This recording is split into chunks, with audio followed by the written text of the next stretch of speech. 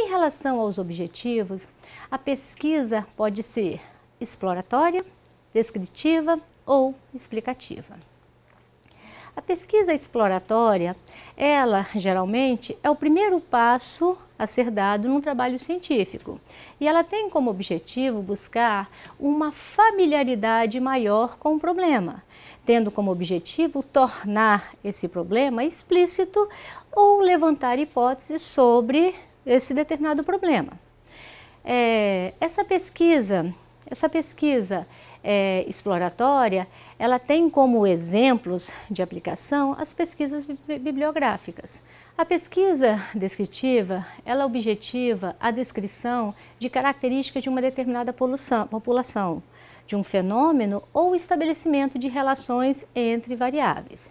Dentre, dessas, dentre as pesquisas descritivas estão aquelas cujo, cujos objetivos são estudar, por exemplo, as características de um determinado grupo, é, distribuindo-os por idade, por escolaridade, por estado civil.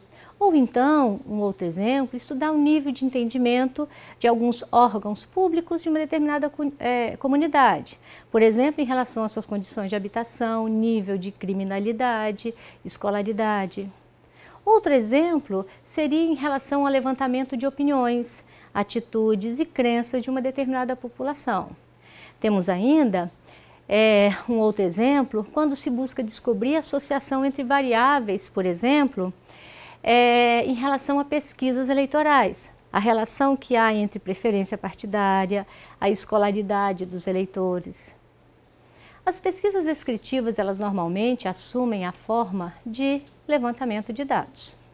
Na pesquisa explicativa, o objetivo que se destaca é a identificação de fatores que determinam ou que contribuem para a ocorrência de determinados fenômenos. Uma pesquisa explicativa, ela pode ser a continuação de uma outra, de uma pesquisa descritiva feita previamente, pois objetiva explicar um fenômeno e para isso exige-se uma detalhada descrição deste fenômeno.